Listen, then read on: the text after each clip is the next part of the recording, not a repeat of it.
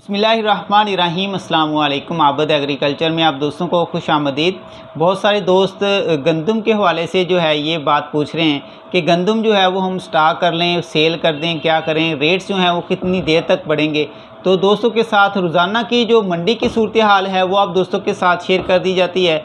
अगर बात आम जो है वो मार्केट की बात की जाए ओपन मार्केट के अंदर भी जो है वो इसके रेट्स तकरीबन पाँच चार हज़ार जो है वो प्लस कर चुके हैं। और बहुत सारे इलाके जो हैं, उनके अंदर आटे की कीमत जो है वो बढ़ चुकी है। अगर इन तमाम चीज़ों को मद्देनज़र रखा जाए तो रेट्स जो हैं, वो बहुत जल्द छः हज़ार प्लस कर जाएँगे। अगर इसके ऊपर कंट्रोल ना पाया गया तो इसके रेट्स जो हैं, वो तकरीबन छः हज़ार तक जो है वो पहुँचने को हैं। अब मंडियों के अंदर चार हज़ार रुपया मुकम्मल, पूरे के अंदर सेल होती है।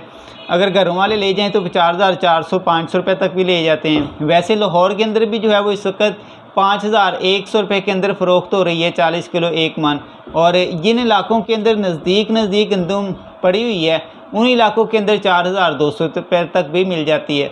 तो इस साल हमारा जो किसान है, उसने भी स्टाकी को अच्छा मज़ा चखाया है कि पहले वो सारी की सारी जो है वो स्टाकी को फ़रोख्त कर देता था, लेकिन उन्होंने इस साल जो है वो थोड़ा सा सब्र किया और गंदम खुद जो है वो फ़रोख्त कर रहे हैं। अब अगर आप किसानों से भी लेंगे तो जिन किसानों के पास पड़ी हुई है, वो भी चार हज़ार दो सौ तीन सौ रुपये के अंदर फ़रोख्त हो रही है।